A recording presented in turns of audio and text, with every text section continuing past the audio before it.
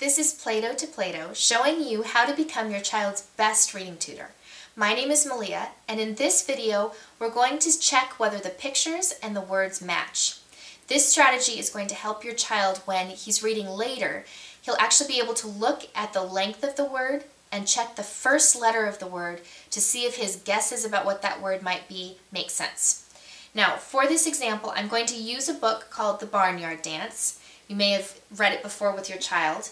I've gone through this book before recording the video and I've covered a couple of the words up with post-its. Now you're going to notice that the post-its are different sizes. This post-it over here is longer than the post-it over here. I've done that purposefully because this word that's being covered up is a longer word than the word over here. You'll also notice that the words I covered up are important words from that page. They're words that our child can guess by just looking at the picture below it. So I'm not covering up the word to or the word the because those words are really not important to the story. Let's go ahead and look at what I'm going to do to help my child figure out what these mystery words are. First thing I want to do is read the words in the book. Bow to the blank. Hmm, I wonder what that word might be. Well, let's see what clues we can gather. I see that the post-it note is really long, so it must be a long word. Hmm, a long word. I know that the picture has to match the mystery word because pictures in books usually match the words that are written. So let me see if I can find any clues by looking at the pictures. I see a pig, pig, but pig is not a very long word. Horse, horse is a long word. Maybe the word is horse bow to the horse, that would make sense.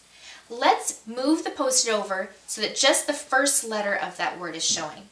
Now, I have to tell you, I'm really bad at doing this without blowing the whole word, so I'm going to go ahead and turn the book just so that it's facing me, and I won't give away what the rest of the letters are.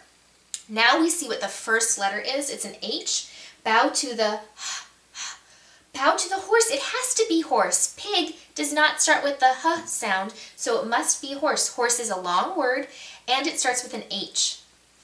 We're going to move over to this page. Twirl with the blank if you know how. Well, I see it's a short word because it's a short post-it. Twirl with the pig. Pig is short, maybe it's pig. Twirl with the sheep. Sheep is kind of short. It could be sheep. Let's look at the first letter of that word and see what, what letter we see. Twirl with the p, p, p. Pig and sheep. Sheep does not start with the p sound. It must be pig. Pig is short and it starts with the p. P, p, p. Twirl with the pig. It is pig if you know how.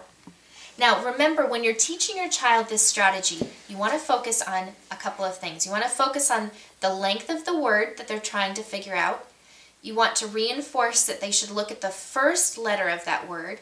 And you want them to make sure that the picture matches the word that they're trying to guess. Try this at home, have fun with it, and I'll catch you back here next time on Playdough to Plato.